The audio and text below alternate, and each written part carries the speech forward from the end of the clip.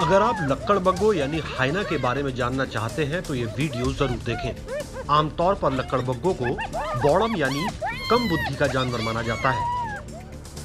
पर असल में ये बेहद चालाक और शातिर होते हैं।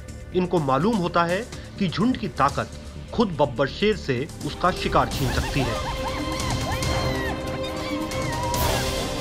ये अक्सर होता है। लक्कड़बग्गे ज़्यादातर दूसरे जानवरों के शिकार पर हाथ साफ़ करते हैं। खासकर चीते और तेंदुए का शिकार छीनना इनके लिए बेहद आसान होता है। लेकिन ऐसा नहीं है कि लक्कड़बग्गे खुद शिकार करते ही ना हो। मौका पड़ने पर ये वाइल्ड बीस्ट और जीब्रा जैसे बड़े शिकार तक को नहीं छोड़ते।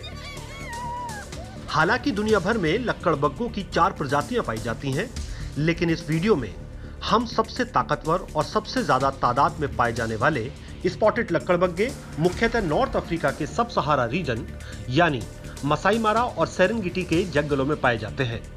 ये जंगल अफ्रीका के केन्या और तंजानिया देशों में फैले हुए हैं। इसके अलावा मिडिल ईस्ट, एशिया और दक्षिणी साइबेरिया, यानी रशिया में भी स्पॉटेड लक्कड़बग्गे पाए जाते हैं। आमतौर पर माना जाता है कि लक्कड़बग्गे कुत्तों के वंशज हैं, लेकिन यह मान्यता सरासर गलत है। असल में लक्कड़बग्गे नेवले की प्रजाति से संबंधित है, इसलिए इन्हें कैट फैमिली की प्रजाति माना जाता है। लक्कड़बग्गे की लंबाई चार से छह फुट तक होती है, जबकि पंजे से लेकर सिर तक चार से फुट ऊँचे हो सकते हैं। खास बात है कि जानवरों की बाकी प्रजातियों के विपरीत माता लक्कड़बग्गा ज़्यादा ताकतवर और बड़ी होती है, इसलिए लक्कड़बग्गों के झुंड का सरदार मादा लक्कड़बग्गा ही होती है। खास है कि झुंड की बाकी मादाओं को नर लक्कड़बग्गों के मुकाबले ज़्यादा अहमियत दी जाती है। इनकी खुराक ज़बरदस्त होती है। ये कुछ भी खा सकते हैं। जैसे वाइल्ड बीस्ट हिरन हिप्पोपोटामस गीदड़, लोमड़ी, चिड़िया पॉर्क्यूपाइन मछली, सांप, अजगर। यही नहीं, ये अक्सर कीड़ों को भी खा जाते हैं। चौंकाने वाली बात यह है कि ये शिकार की हड्डी तक नहीं छोड़ते।